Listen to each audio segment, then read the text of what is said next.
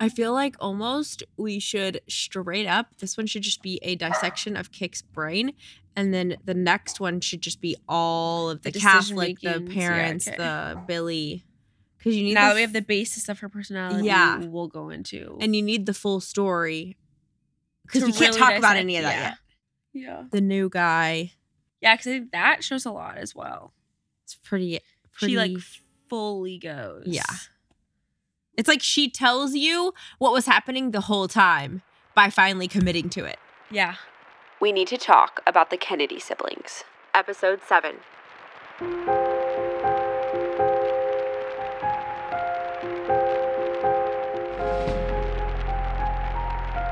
Welcome to Blood and Business. I'm Bethany. And I'm Cassie. Jackie may be more complicated, but Kick is the most confusing. It's funny because Cassie did not want to cover Kick or Pat or Jean at all. She's like they're the most boring, the whatever, the most self-centered. Especially Kick. Yeah, especially Kick.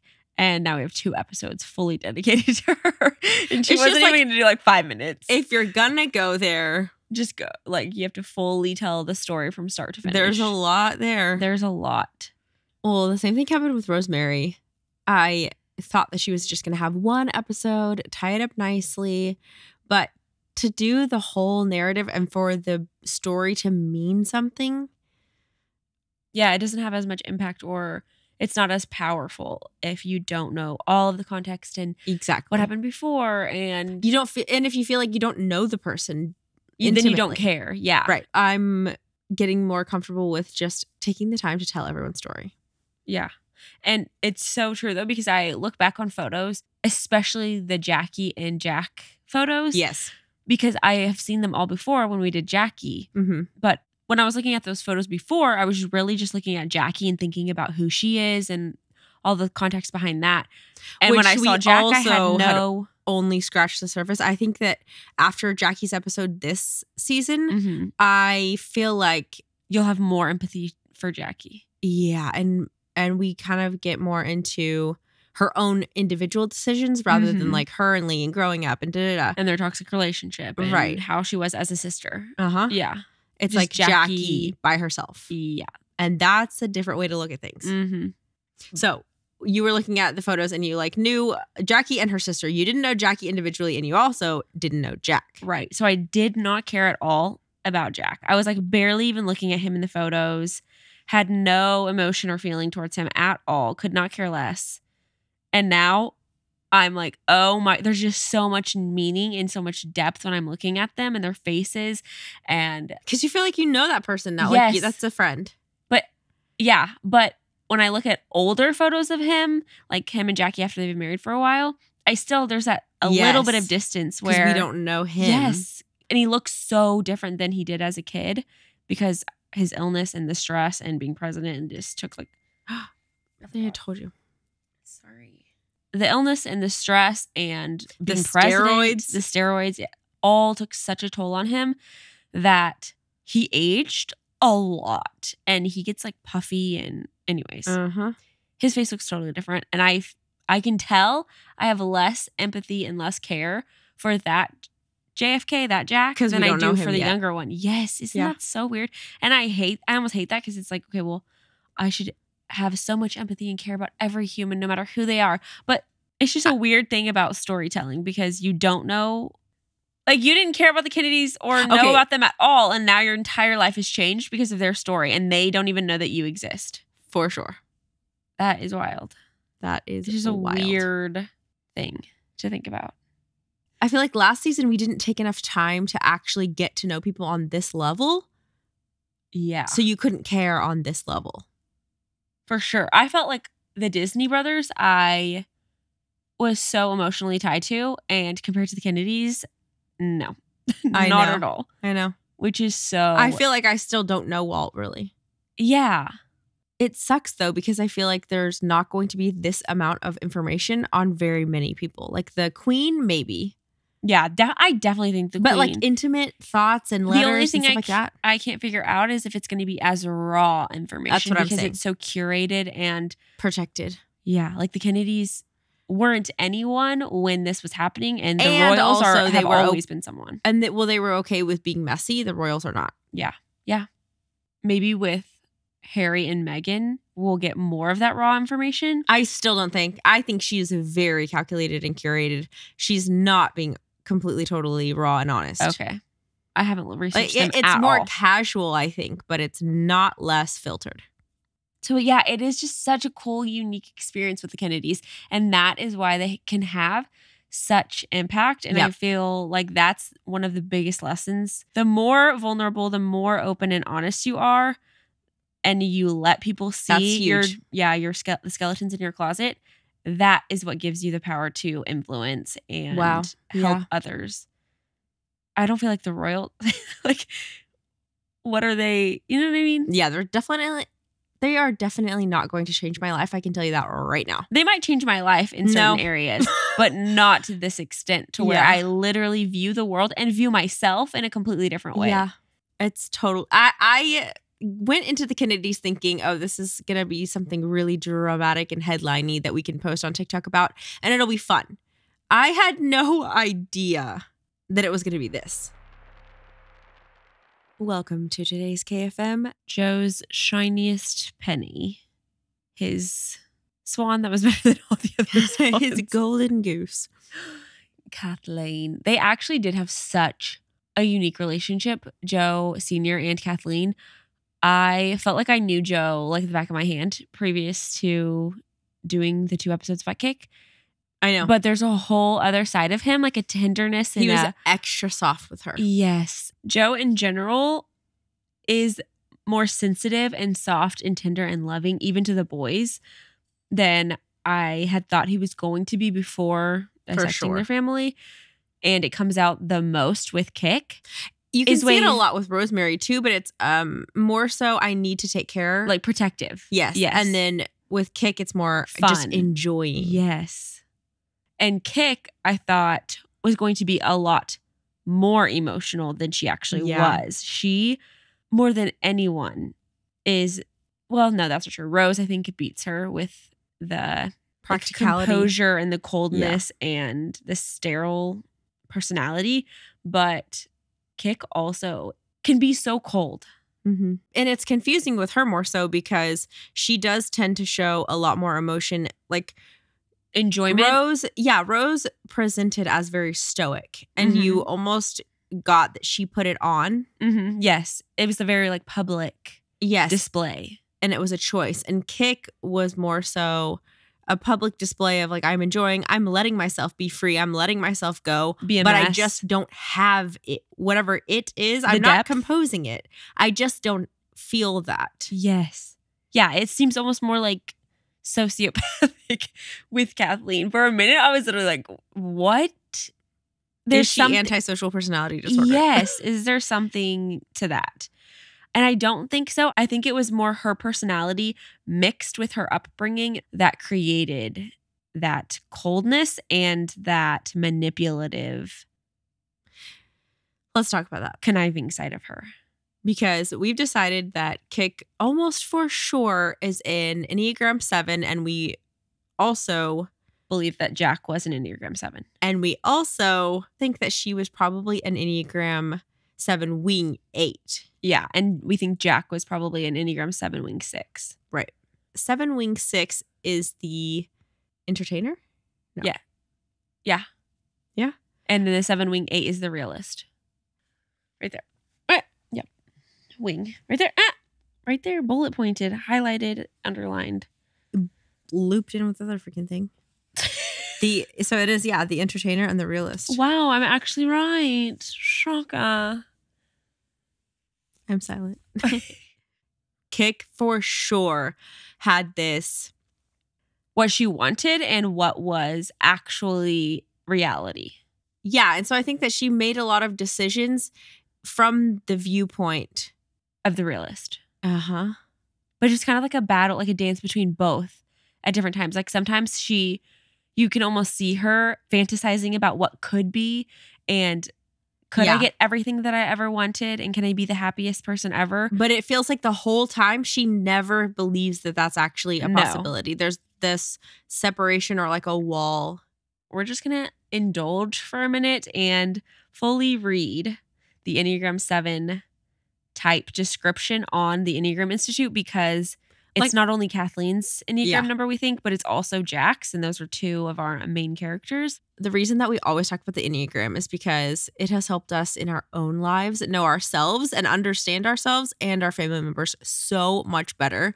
And then if you know a general description or like a general gist um of each number basically, if you just know the motivating, like their basic motivation and their basic fear, of each number, you can kind of figure out what people are and then immediately you unlock all of this other information Like about their motivations and the way they see the world and all this stuff.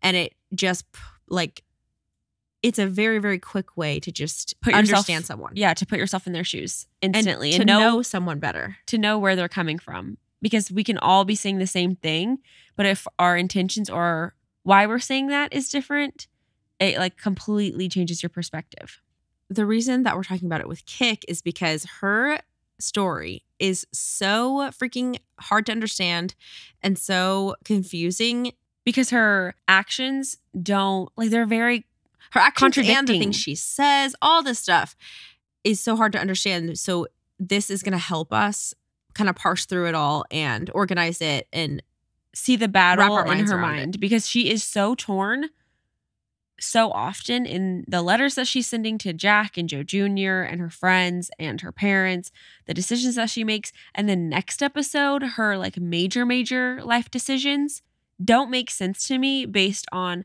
the person that she is in this first episode Yep. about her. We took so much time trying to figure out what in the crud Kick was doing and why, and how she's so similar to Jack, yet so freaking different. This entire time, I'm just trying to figure out who she is. Who in the world is Kathleen Kick Kennedy? I don't, I could not figure that out for weeks. Because Jack, he fronts a little bit better. Like maybe he has a little bit more of a solid identity Yeah. in a way, and obviously a, much more solid purpose. hmm And so that kind of covers up the fact that he doesn't know who he is deep down inside. With Kick, it's like immediately apparent that she's so confused, she's so torn. Even before we started researching her in depth, we knew that there was something weird happening with who she was, the Yep. decisions that she made. She's just all over the place. It's so there's a distance in her and around her. So because we pinpointed, okay, she's for sure this, uh, it unlocked all of the understanding and all of the answers that we were looking for. So let's talk about it. if you have not taken the Enneagram test, let us know. DM us on Instagram and I'll shoot you the free version of the quiz. And then you'll have to let us know what number you are. Technically, the most infallible way to diagnose yourself is to just read through the descriptions of all nine numbers and and look at yourself and be introspective. But that is hard to do sometimes. Yeah, so if, to if actually a be test will help you, and you, yeah, you can just be honest with those answers. You can get at least a couple of options that you can read through and figure out. Okay, this sounds exactly like me. And when you find your number, It you will will, read through the description and you will. Be like, oh my gosh, this, someone is reading inside my head right now. Probably the reason it helped us so much specifically is because my little sister and Cassie, which is my older sister, they're both Enneagram fours and they are both very much emotional. Identity, everything is like existential. and I am very much not that personality type. So we were constantly misunderstanding each other, and it, it's obvious that we have good intentions. Yeah. But Cassie, when when we were fighting, Cassie would literally be like, "There's no way that you can think that or say that," and not mean this, which is w- the only thing that I could even possibly think would be the explanation or the reason or the motivation behind. me This. saying something, and I would tell her that absolutely not, didn't even cross my mind. This is what I was thinking, and she just wouldn't believe me.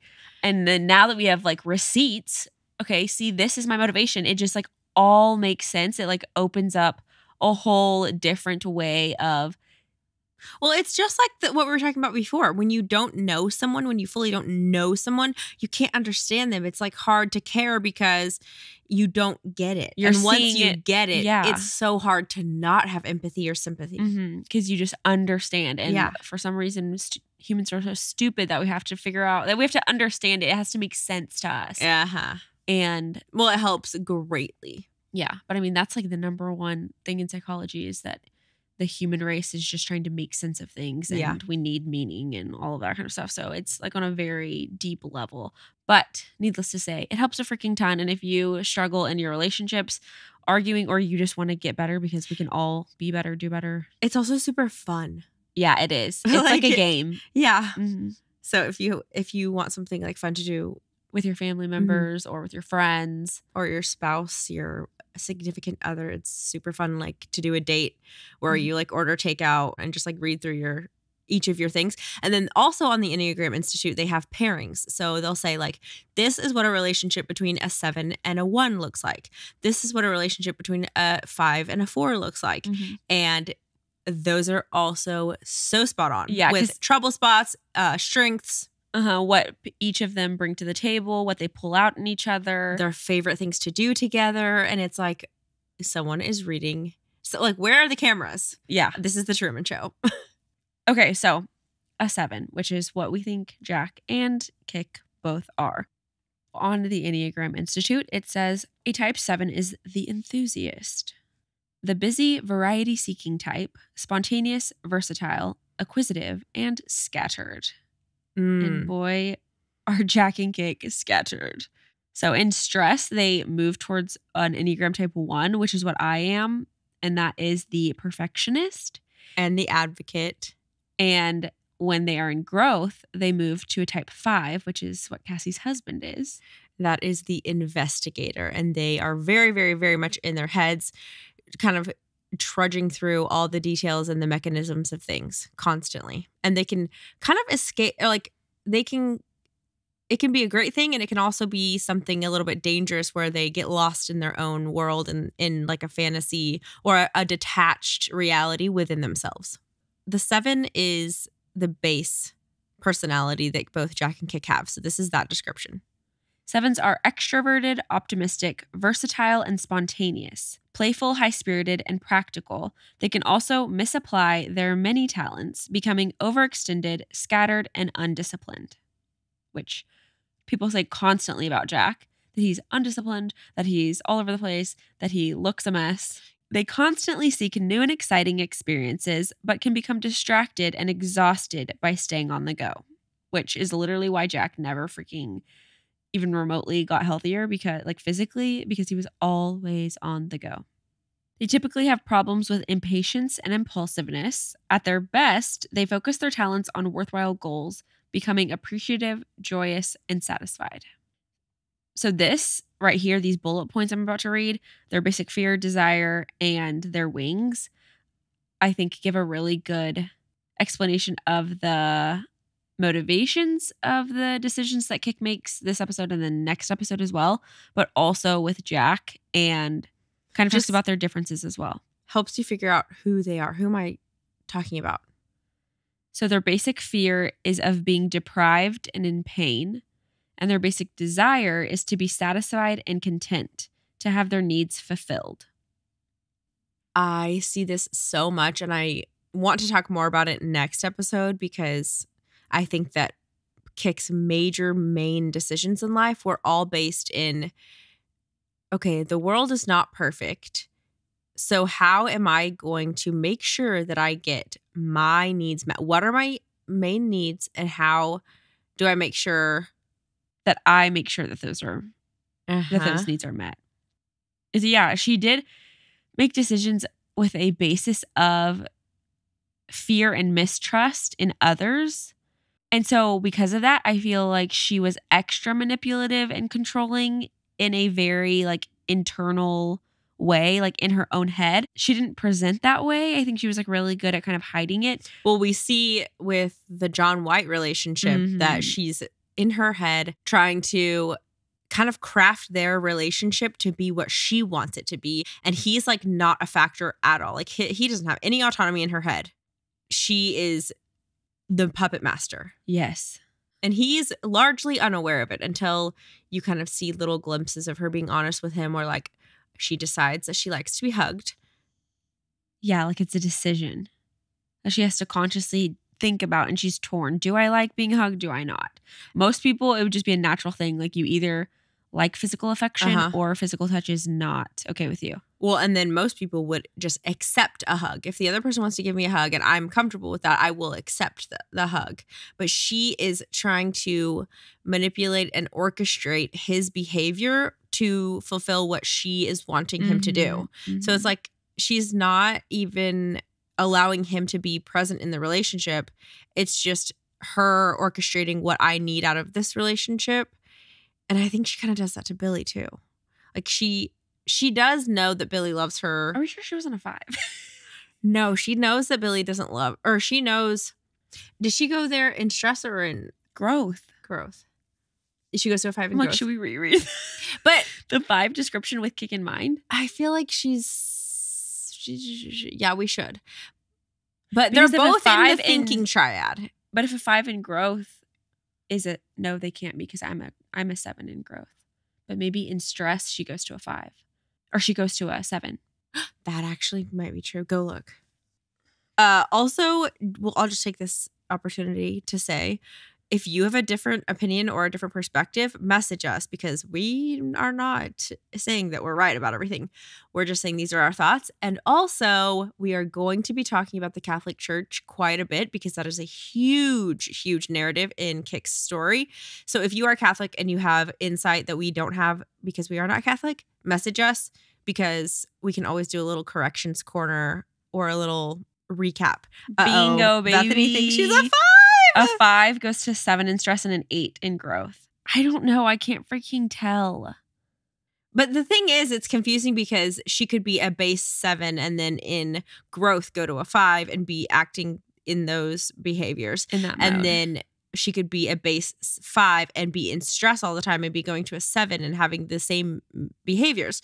But it's from different, it's coming from a different place. A so that's different why you have to look at the second level of it and be looking at the circumstances, what's going on in her life. Is she in stress or is she in growth?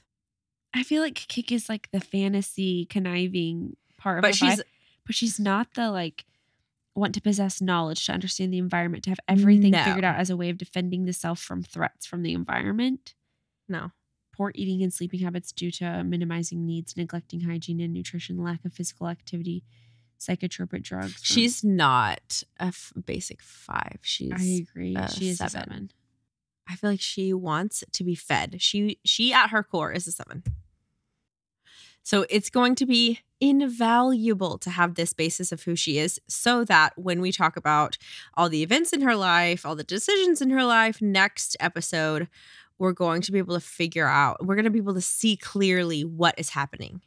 And looking at it through this lens or uh, through the lens of understanding who she is at her core makes her decisions so much more fascinating too because without that you looking at her decisions the whole time you're just like what in the world? Like Right, what is she doing? like- it doesn't make sense. I can't have an opinion because I don't really know what's going on. yeah what is this? What does that mean? And then when you Upon further instruction, she is absolutely for sure just a seven investigation instruction she's a seven in growth. Often, I think uh, she really was trying to like figure life out, figure out who she was. She was kind of trying to figure out who she was apart from just being a Kennedy and apart Mhm. from her family. And so, yeah her key motivation for sure to maintain freedom and happiness to avoid missing out that is boop, tie a bow on it, walk away. That's it. That is who she was. To keep themselves excited and occupied. She could not let an opportunity slip through her fingers. if she felt like it was worthwhile Yes. or if it was enviable. Mm. Yeah, because it was like Lee. Like at her at your core, would you have been happier with your family? Yes. But it was like the potential that the other life could give you, that it might that you might better, miss out on something better. and something that everybody else definitely would want. And it's at your fingertips. Okay, so back to type sevens because we just reconfirmed that Yeah. she's a type seven. So motiv- It would be hard for someone to message me and actually convince me that she's not. Like I am very, very confident that she is a seven. I agree. We would have to have a lot of new information about her that would change things. That would sway us. So, the key motivations for Enneagram 7s. They want to maintain their freedom and happiness, to avoid missing out on worthwhile experiences, to keep themselves excited and occupied, to avoid and discharge pain. And if you didn't absorb that, rewind because that tells you everything you need to know. All the little decisions, all the big decisions. She is sometimes torn because of her religion, her environment, her upbringing, the parenting that she received, her siblings' attitude, the events and life circumstances all play into this and can kind of fog over her core motivation, but it is always there. And that's what makes it a little bit more confusing is because their life was obviously extreme and there were so many added factors more than average, more than the average person, but In every situation, every instance, she this this is the thing that never disappears, that never goes Mhm. away. Other things kind of pop into her mind. She's like trying to figure out should I be doing is. this? Do my parents want me to do that? What are the consequences if I choose this? what's right. Can it really be that way? Can I have everything or do I have to choose? But when she is forced to choose at the end of the day, this never is not. Present. Yes. Okay, so if you're looking at the Enneagram Institute website and you're following along with us, just go to the type 7 overview, and that's what I'm going to read next. We've named this personality type the enthusiast because sevens are enthusiastic about almost everything that catches their attention. Boy, if that ain't Jack and Kick. They approach life with curiosity, optimism, and a sense of adventure. They're bold and vivacious, pursuing what they want in life with a cheerful determination, which you see that determination come out a ton with uh, Jack when he's starting his political career, but also even before that with his rivalry with Joe Jr. He's so determined to compete with Mm-hmm. Joe At Jr. the in expense football. of his body. Yeah. And with football, yeah, going to war, literally everything. Which is always confusing to me because it's like, oh, if you just want to have fun, how are you that determined and that strict on yourself? But if it's for the end goal of Your own adventure, satisfaction. yeah, and- adventure Mhm. and um, experiences, yeah. Okay, so then it goes on to talk about how they have a high ability to learn new skills and have a wide ranging curiosity and ability to learn quickly, but that that can also create problems for them because they're able to pick up many different skills with relative ease. It becomes more difficult for them to decide what to do with themselves, which is freaking kick. She can never freaking decide. She's the whole time torn. And maybe that's why she took such a liking to the British culture and everything because she was so easily able to assimilate and kind of change herself and pick up on what is British, what is British culture, what is British society, what kind of And it was new behaviors and or interests flirty with it for her. And so that was intoxicating. She found a new interest or a new hobby almost. A new thing to play with. And a new, yeah, a new thing to throw herself into. But it also says, as a result, they also don't always value their abilities as they would if they had to struggle to gain them, Mm. which she reminded me a lot of Teddy at the beginning of getting to know Kick because there is that arrogance, that privilege, that narcissistic. almost shallowness. Yeah, but it's to me, it looked like it was all due to privilege. she almost has a very visible shallowness and an ungratefulness that seems like it's a result of just growing up spoiled. Like Because- she didn't have the opportunity to fully form a deep identity or grow as a person. Right. I was thinking it was because obviously her upbringing, they're rich. Joe Sr. is obsessed with Kathleen. She's the Yeah. basically the oldest girl. So the one that's closest to both of her parents, the one that Rose pours a ton into, other than Rosemary. And It's not that she is just enough no matter what she does and she doesn't need to perform. It's the ground you walk on is holy. It sparkles because you have been here. Like you are so amazing.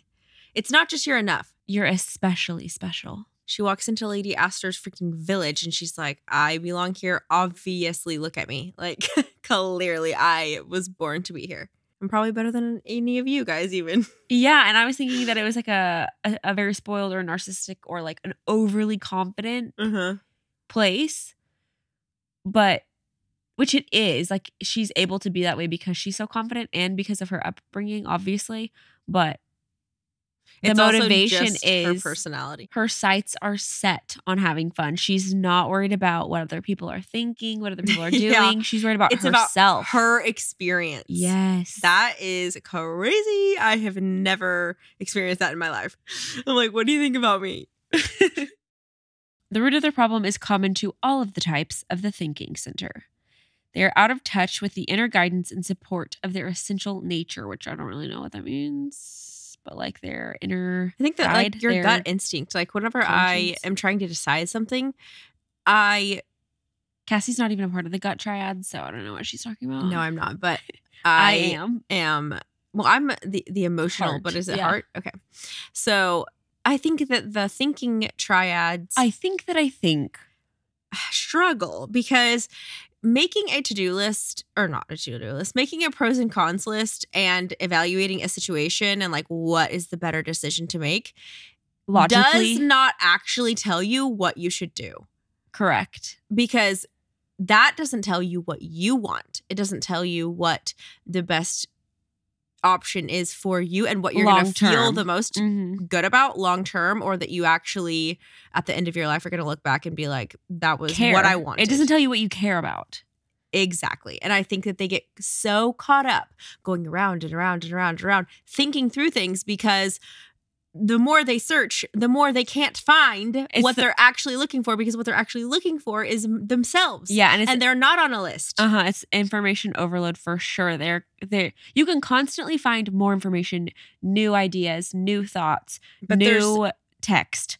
You're what you're searching for, though. Yeah, is like you said, it's not out there. You're. It's not information you're going to gather. It is inner work that you just have to figure out within yourself. Who am I? What do I care about? What are my priorities? and being honest about that when it doesn't make sense. Yes. It's fine But if that it's what irrational. I want may not be number one, the best thing. Number two, what other people would want to do. Number three, what society says is the best, most successful version of my options.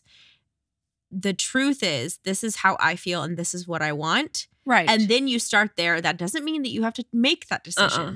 But being honest about that gives you so much to work with and a place to start.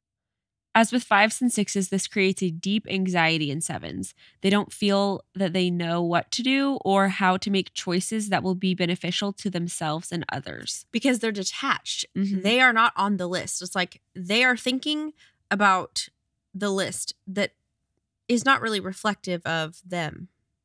And so it's there's a separation. So that I feel like that causes anxiety because you feel like where am I? Who am I? Why can't I figure this out? Why Uh-huh. can't? What's the disconnect? There's like an unrest that you feel unsettled about. Even when you do come to the conclusion on paper, oh, this is the right decision on paper, Uh-huh. it still doesn't feel right because it's not. There's a disconnect. Yes. It's a detachment. And both Jack and Kick have a severe detachment issue. hmm Oh my gosh, severe. And it's not as recognizable in their younger years, but as time goes on Mhm. and they start making more and more of their own decisions, adult decisions, and just have more freedom in exploring areas, holy crap, you're like, you, there it- is something, there is a detachment that is not normal, that is extreme. And that's when they start to realize it. Because as a kid, you just feel like, okay, well, everyone feels this way. Or like, you don't really even know. You just know, yeah, oh, I feel this way ish, but you're not even conscious that you feel that way. Just looking back, you know, oh, that's how I felt as a kid. And I also think that you just think, once I grow up, I'll figure it out and it'll just make sense and come come together. Sevens cope with this anxiety in two ways. First, they try to keep their minds busy all of the time, which Jack, even more so than Kick, was kept himself busy to such an unhealthy extent. It's wild. And his family obviously like fed into that. But you look at how ill he was 24-7 and he never slowed Yeah. down, not even for a second. Well, He got sick and had to leave Princeton, so he went to Harvard. Like, he keeps himself busy mentally and like more so physically. Kick keeps herself busy with engagements and events and fun activities and going out. Yeah, and she indulged herself a lot more than Jack did, actually, like thinking about it. Like Jack did sexually more so, Yes. a lot more than Kick. He was so promiscuous, and Kick really wasn't, especially up until this point. Yes. But she did, yeah, much more with like friends and going out and parties. And Mhm. Jack was like, I would rather be at home with a book Yes. with my close friends. because well that just wasn't fun to him and it was fun to kick a really good example of kick being in her head like crazy and keeping herself busy when she should just be resting and having fun is when she's on that army ship or is the navy I think I it's can't- army. I don't I don't know. know. When she's on the Queen Mary and it's like full of soldiers and they're going over to England from America and she is in the Red Cross. It's the time period when she's like complaining about the girls staying up late until 1.30 and we really don't flatter ourselves with the compliments from the men because the ratio is so off balance. it's not really a compliment. So while she's on that ship, she is doing her daily exercise and like walking up and down the ship. It's like 40 feet and she's just like pacing, pacing, pacing back and forth. And while she's doing this, she's like quote unquote exercising and keeping herself busy, but she's just running a rat wheel in her mind over and over and over, thinking about all the things. And she's going from America back to England and she's she knows she's going to be able to see Billy. She's going to have that opportunity to rekindle that relationship and she's trying to figure out who she is, what she should do. And I don't even know if she's trying to think figure out what she wants as much as The consequences of each decision almost. yeah, like, what what, is should I do and what's gonna happen? And she kind of is playing out each scenario. like fantasy in her brain. If I pick this path, what is that going to give me? Which one is more painful and which one is more fun? What's it gonna look like? What are other people gonna think about it?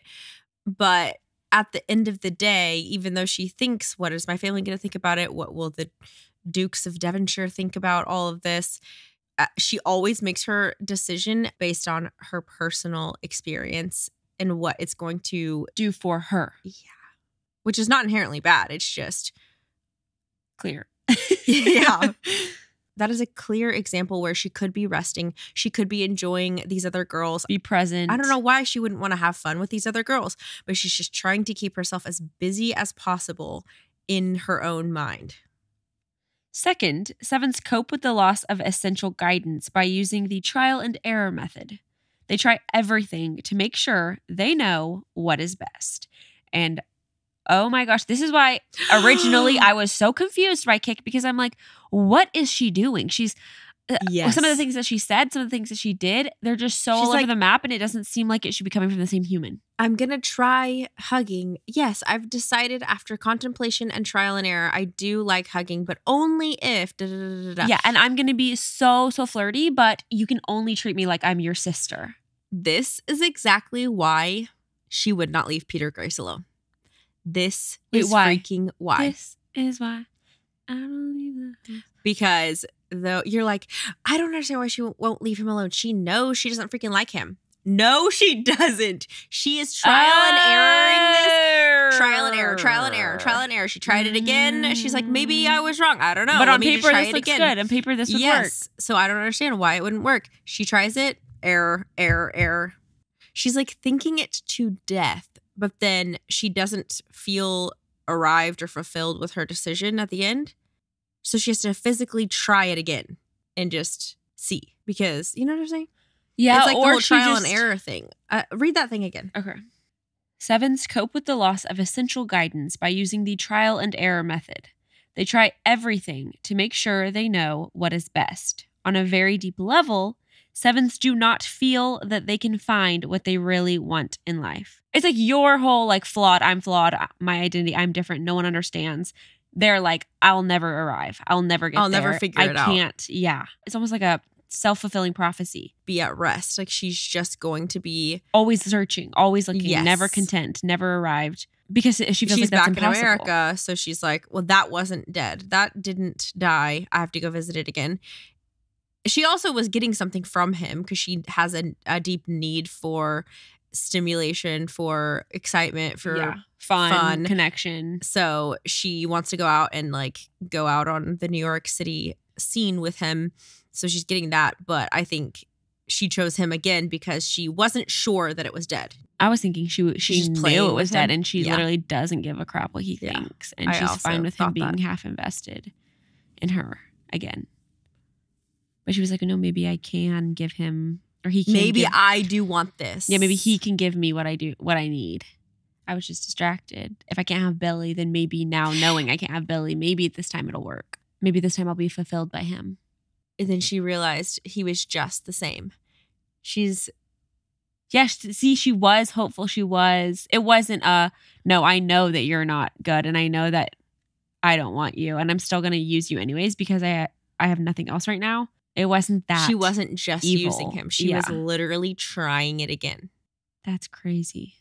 See, that's where perspective comes in because I thought she was I thought she knew for sure. I'm using him completely. I already know that this doesn't work. I already know that I don't actually like him or that I don't, don't actually want him. But I want to have fun and that's fine if he's stringing along, whatever. Yeah. Yeah, I thought that she was putting her own needs above like just carnivorous, you know yes, what I mean? like not empathetic at all. Didn't care. Just will use and abuse anyone as long as it will give her pleasure. but she was literally Trying it again. trying it again and investigating and trying to figure it out and thinking it over again and again. It's It's like- exhausting. I'm exhausted just like looking at it. Ugh. You made your decision. Walk away.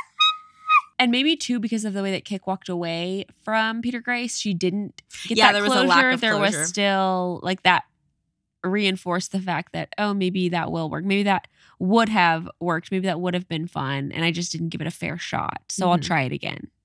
But it's like if you were so gung ho and ready to walk away at the With- first sight of any promise of anything Yes, better. with no goodbye, no letter, no even thought that like maybe I shouldn't. But I think after reading this type description that it was more so a lack of ability or willingness or even knowledge that she should be putting herself in other people's shoes because I think because she was so lost and confused herself. and she was like so she young didn't know which way was up. Out of a place of desperation and survival, when you're so under the water yourself and you're so lost, you don't, unless you are just super mature and or have somebody else outside, pointing that out to you yeah, helping you see that. You're not looking around. She was almost like a celebrity, like like child No one celebrities. telling no you one, no. yes. So you Uh-huh. just don't even. You're like you're so emotionally stunted. Well, the one person Your who was telling her no, she didn't trust their opinion. who, Her mom. Oh, yeah, the one person. Even when she did look around to the people that were in her life to see kind of like how they were acting, and if she even attempted to give herself a a personal check of like, okay, wait, am I doing the right thing here? She looks at Rose, and Rose is so cold and She didn't want Rose's life point blank, period. correct. as much as she might think like oh that is what i should be doing she didn't want to do that so she Mm-mm. wasn't going to do that long term Correct. And it's not like Rose had a healthy point of view No. either, or a balance that she could mimic or emulate or look to. She knew her mom wasn't happy and that is what she wanted to be Yes. so So it's why like, okay, well, then I'm not going to look to her. I'm not going to get advice from the lady that's miserable. yeah so i think it's less that she doesn't have empathy and more so doesn't even have the opportunity to have empathy because she never even took the time to look outside herself and look at what other people might be feeling. So didn't look at what Peter Grace might feel when she lets him if because she was so lost and confused, she didn't know I'm not going to be with Peter Grace long term. I'm just trying him on for size just to make Uh-huh. sure.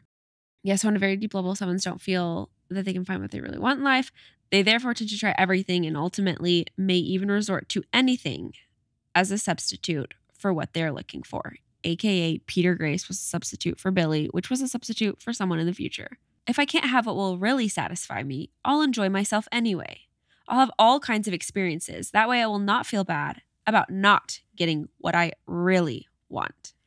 That is yes, absolutely cake. But oh my gosh, if that does not sum Jack up. If I can't get what I really want, a fulfilled life, a Long career, life. a long life, Die at an old age. my father's affection and devotion, I'll at least enjoy myself with what I have. if I'm permanently second string, if I'm per- permanently fighting with a shadow that blah blah blah whatever. Shadowboxing in a match, he will never win and forever Yeah. enshrined in his father's heart. we can revisit that later on Jack's episode. yeah.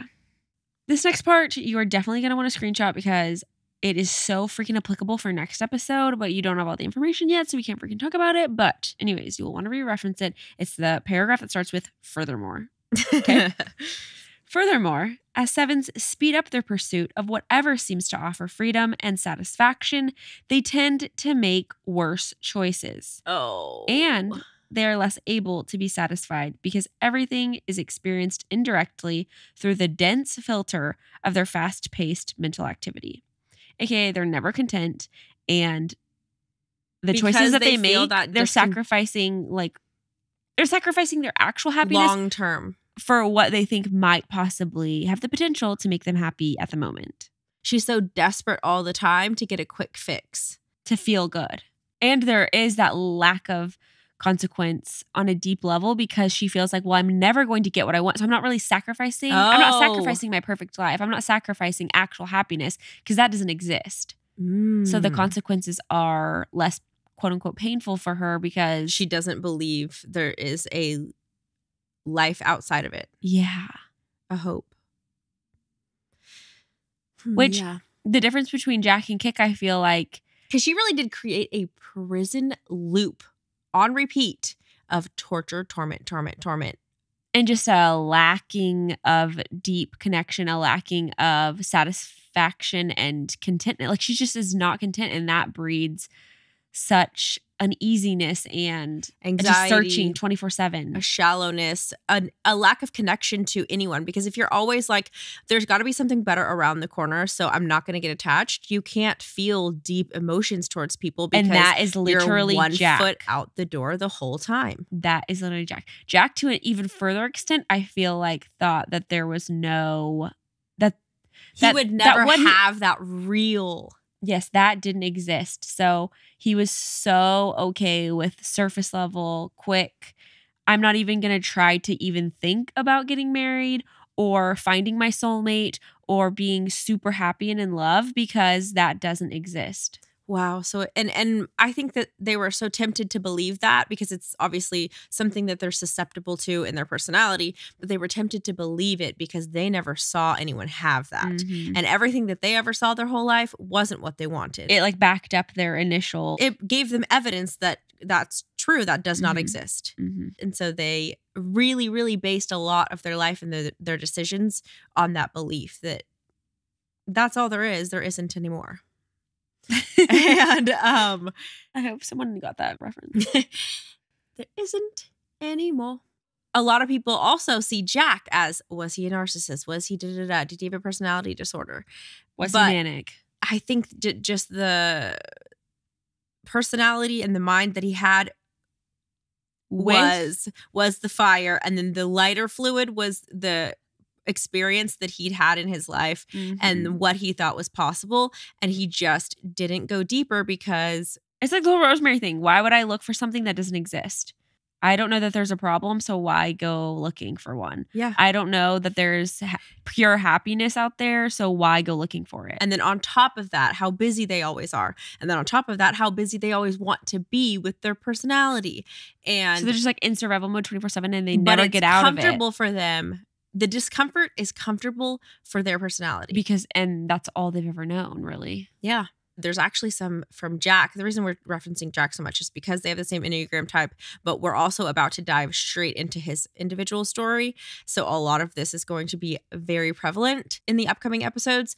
And even just next episode in Kick's end of her story, Jack and his mentality and kind of where he was at with this whole emotional journey uh, comes up because they were similar in that and they talked about it Mm-hmm. but oh my gosh, the constantly longing and thinking that doesn't exist. I will never have that. Or it doesn't exist for me. Mm-hmm. I don't even know that they thought real love doesn't exist. I think they just thought it doesn't exist for me. I'm incapable of it.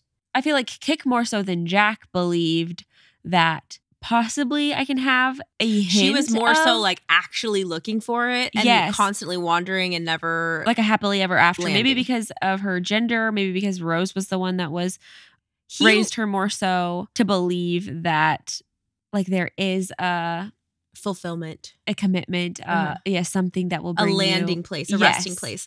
And Joe like- was the one who wasn't, and Jack. That's literally all Jack saw was Joe's uh, modeling Yeah. of what a good father or of what a good adult is. And so he literally never, ever, ever even had an inkling of a thought that, like, literally, and that makes me even more convinced that the the only reason he married Jackie Oh, for was sure. like, sure, did he like ish love her? Yeah, ish. but we're gonna talk about that. okay. Sorry.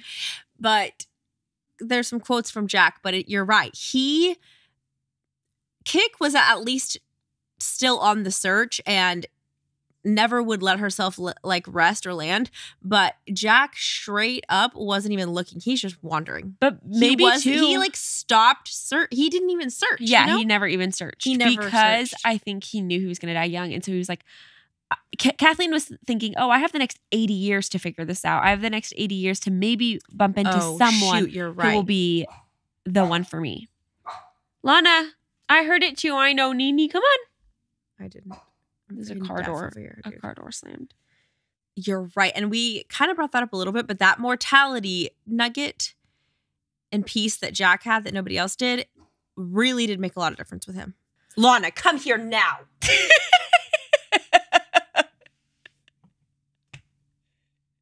Lana, come on. A good girl that you came. Can you sit it down? she's just so like you can literally understand everything that she's saying through her facial expressions. It's crazy. And Um, you got like an eye patch, Nini, because your mommy needs to cut that hair. okay. you think this makes somewhat coherent sense? I feel like Yeah, it definitely does. I think. I'm sad that like we know so much that they don't know. I know that is the, the struggle. That was the freaking struggle with Rosemary, and that's why we felt like, oh, we have we have nothing for episode three, and then we had two KFMs for that. Because we know Jack in the future. We know the next episode. I know that there's We so much the juicy, juicy stuff coming up.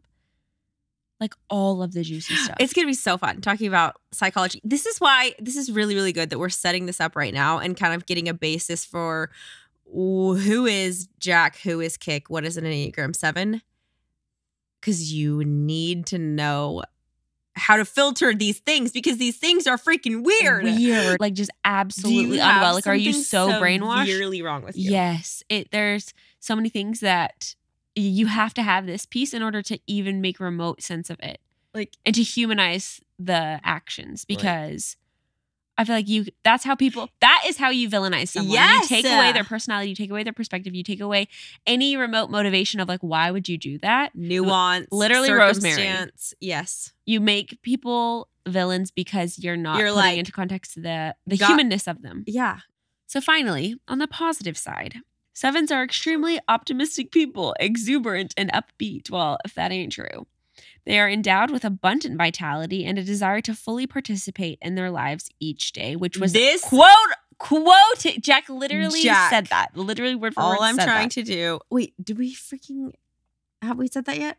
Just remember that because that is exactly what Jack said he was trying to do was live every day like it was his last. That's basically. I mean, Jack was. YOLO. Yeah.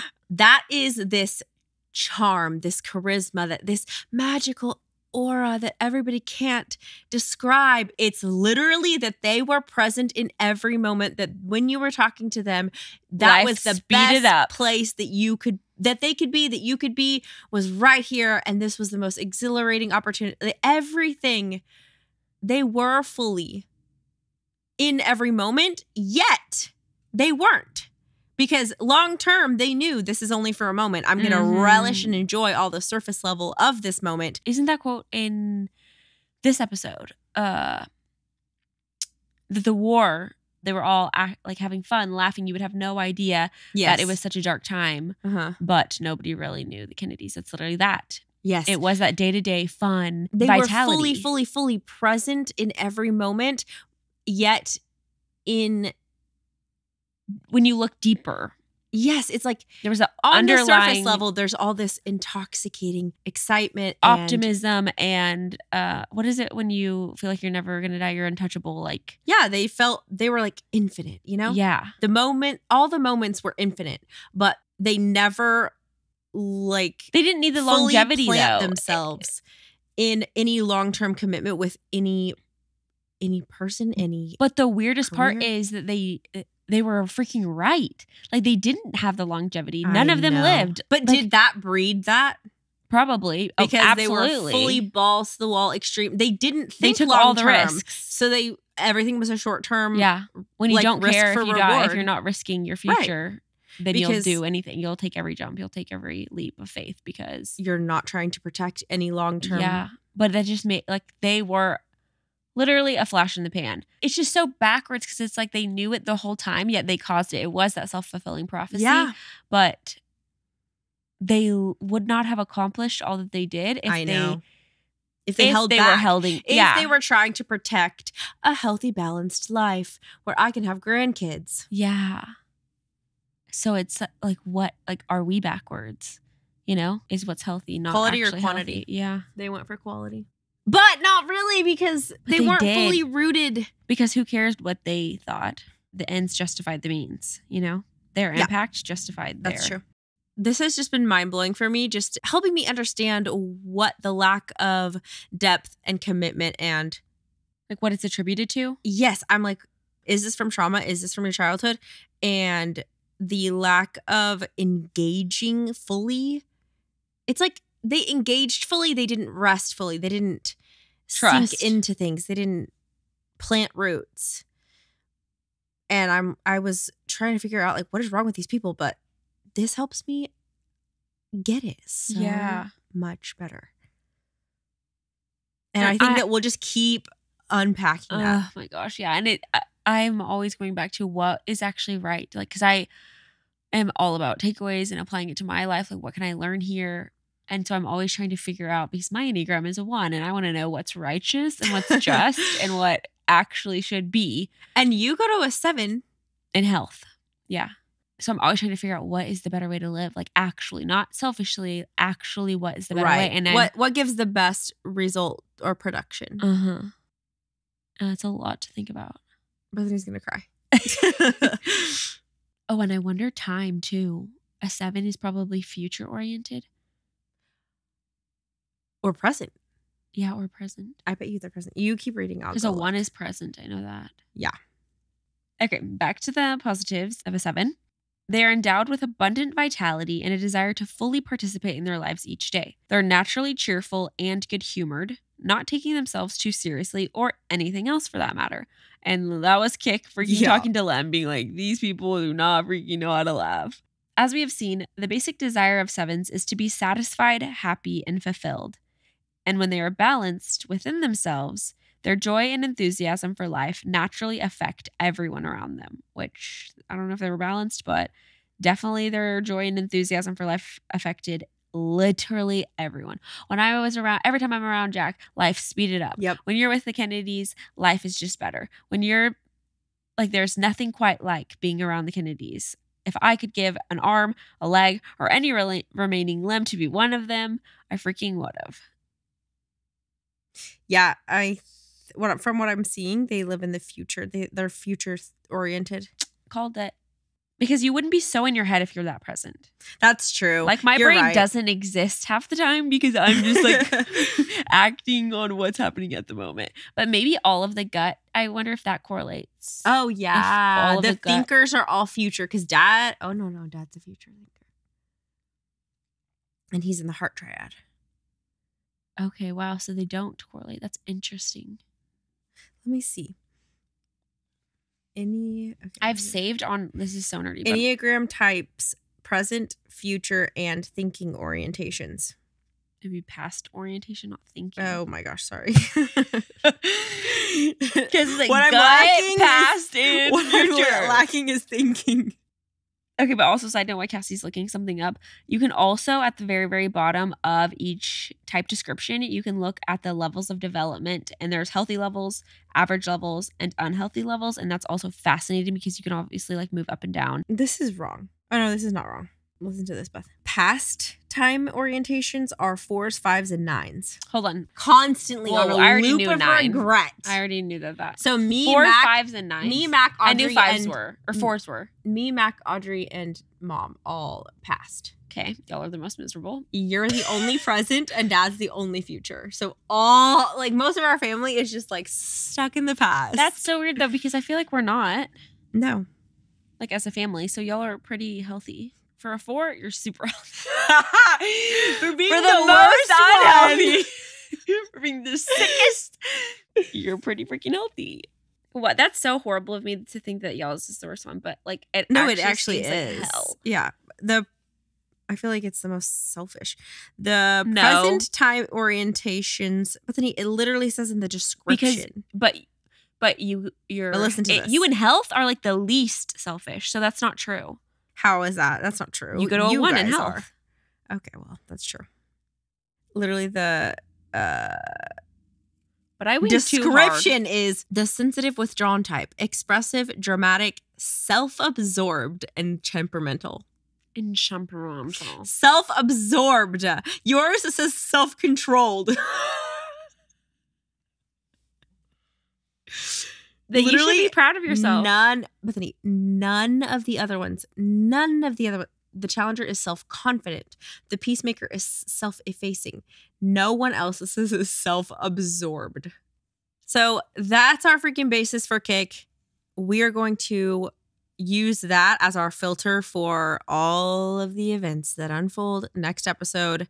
And I don't think that she was just this cold, cold brat of a person. I think she was a lost girl.